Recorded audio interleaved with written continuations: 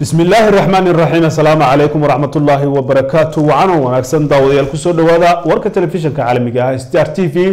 oo hadahan oo kale idinka yimaada xarunta telefishanku ku leeyahay magaalada hargeysa. Warkana haddii ee beydmo waxaa idinla soo codsiin doona anigoo ah maxamed xuseen jaamac.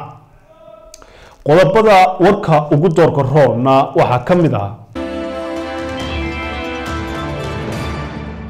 xisbiga mucaaradka ah ee wadani oo ka hadlay madaxii goobjoogayaasha caalamiga ah ee joogay somalilan markii ay dhacaysay doorashada madaxtooyada xildhibaan siciid cartan oo ka jawaabay hadal ka soo yeedhay maayirka magaalada burco muraad wasiirka arrimaha gudaha somalilan maxamed kaahin axmed oo ka qayb galay munaasabad lagu furayey waddada isku xidha degmooyinka ceel afweyn iyo reer gaabo madaxweynaha soomaaliya maxamed cabdulaahi farmaajona waxa uu socdaal ku gaadhay magaalada casab ee caasimadda eritrea. Mas'uuliyiinta rugta ganacsiga somalilan oo faahfaahin ka bixiyey khasaare ka dhashay shirkadda furashaanta oo dhowaan ku basbeeshay magaalada hargeysa.